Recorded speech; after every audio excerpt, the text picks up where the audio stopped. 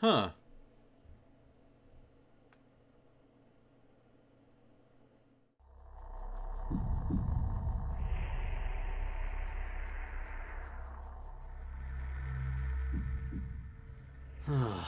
Man, it has been a dry summer.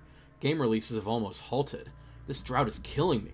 And the Steam Summer Sale recently filled up my library with tons of games. If only there was some way to solve both of these problems at once. Hmm. So I have a massive backlog. So what? Everybody does. But since I'm a paid critic and all, I don't really have the time to play the games that I want to play, that I need to play. You know, the classics that everyone talks about. The classics I've never played, even though people constantly yell about them on the internet. So you know what? Screw new releases. Yeah, it's only indie stuff until September, and, uh, eh, how about that? 10 weeks until September. That's a nice round number. So I think it's about time for another top 10 list. These are the top 10 classic video games that I've never played. This should prove interesting. So let's get started. Number 10.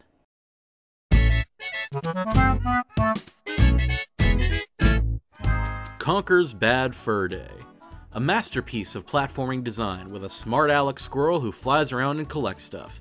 I've never really played any of the old rare style collectathon platformers, and since Yooka-Laylee's coming out, this will make a great primer.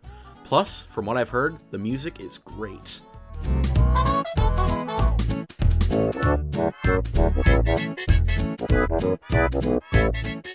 Even if there is, you know, a singing pile of excrement. I am the great mighty Pooh, and I'm going to throw my shit at you. Hey, it could be worse. It could just be lying around in the open in a big desert or something. Number 9.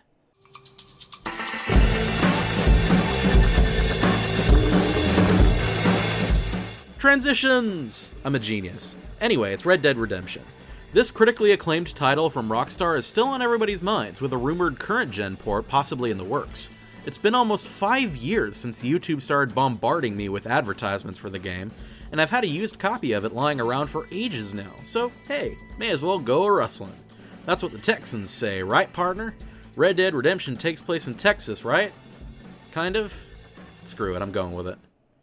Number 8.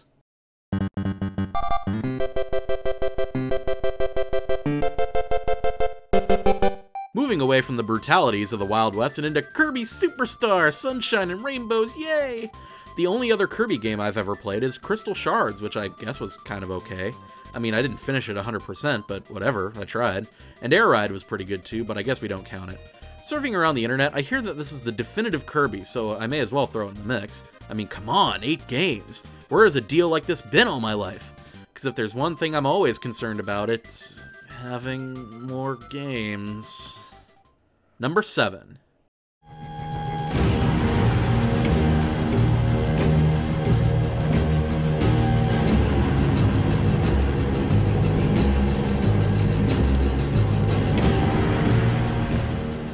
Dishonored. Okay, yeah, while we're on the subject of Steam games, let's throw one on here. I'm a huge fan of old school first person stealth games like the first Deus Ex and Thief games. And of course, while Human Revolution turned out to be alright, the Thief reboot wasn't really scratching that particular itch too well. But I hear Dishonored does, with open levels, a cool art style, and oh, that blink. That blink mechanic looks so cool. Dishonored is definitely the number one stealthy, stabby priority for this list. Number 6. Uh-huh.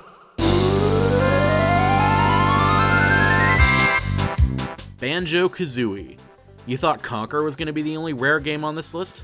Ha! And I wouldn't act so surprised if that rare logo turns up later. Foreshadowing. but anyway, when it comes to collectathon platformers, I hear that the Bear and Bird are the king and queen, respectively. And it doesn't have any singing turds, so that's probably a plus.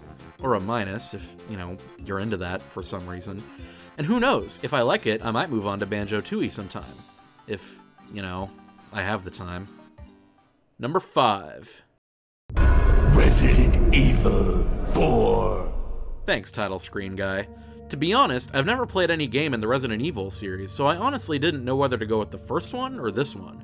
I mean, they were both recently remade on Steam, so it's not like it was an easy choice. But since RE4 has the whole revolutionizing the modern video game industry as we know it today thing going for it, I guess I owe it to myself to play a small piece of gaming history. And who knows? I'm not really that much into horror games, and I swear it's not because Amnesia scared the crap out of me, honest. So this might be a great gateway drug, and that might help me later on down the list. More foreshadowing. Number 4.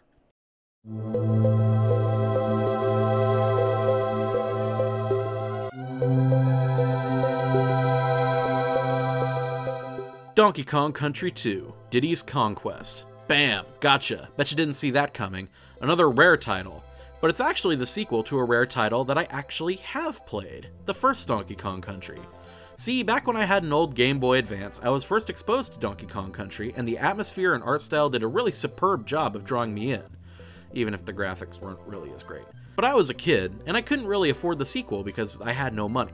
So now it's time for me to finally get down to it. Man, especially with that music.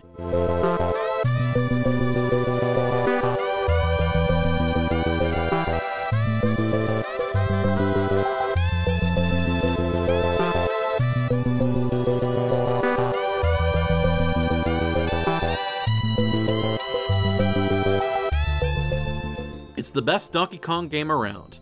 Allegedly, I guess. So I owe it to myself. Number 3.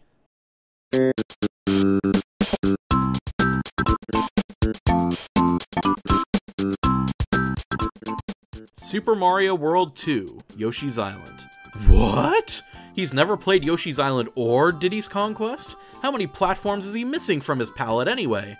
Well, only those two, and maybe Braid, I guess. I actually really love the platformer genre. As I applied a minute ago, the first Donkey Kong Country is one of my favorite games ever, as is the first Super Mario World.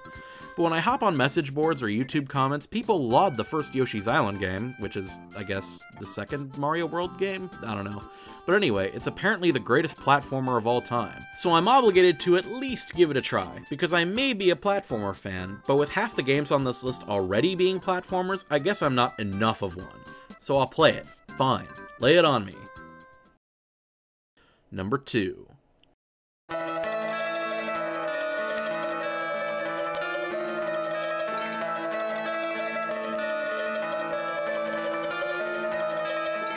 Silent Hill 2. Yep, there's that second survival horror game. And as a serious paid critic, this is probably another shocker. One of the best stories in video game history, with some of the best atmosphere in video game history, and some of the best. Well, I hear the combat's not that great, but still. Many game aficionados refer to this one as one of gaming's best works of art, right up there with Shadow of the Colossus or Papers, Please. And hey, I'm a huge believer in the storytelling potential of video games, so this one should be a no brainer. If I don't pee myself with fear first, anyway. Not that I'll do that. And number one.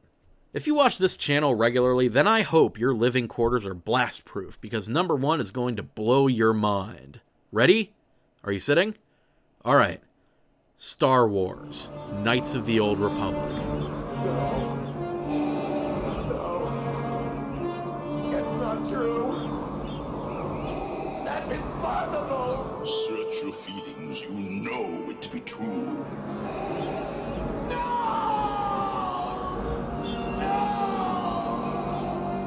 I know, right? I've loved Star Wars since before I can remember, and I've loved Star Wars video games since shortly after that. And BioWare is one of my favorite developers, with all three Mass Effect games ranking among my favorite games of all time. Yeah, all of them. Even the third one, with the shitty ending, it's still one of my favorite games ever. So having not played Knights should be something of a statistical impossibility. And yet, it's true. I've never played BioWare's Star Wars opus, so I think it's about goddamn time. This summer, I'm playing Knights of the Old Republic, and all the games I just listed, in fact. Starting next week, I'll be uploading highlight videos showing my reactions to these games. Reviews, I think, are kinda moot because, come on, we all know these games are classics. So maybe you'll find more value in my reactions rather than my opinions afterward. Although, I'll probably include some opinions afterward anyway. So, let the great backlog offensive begin! Charge!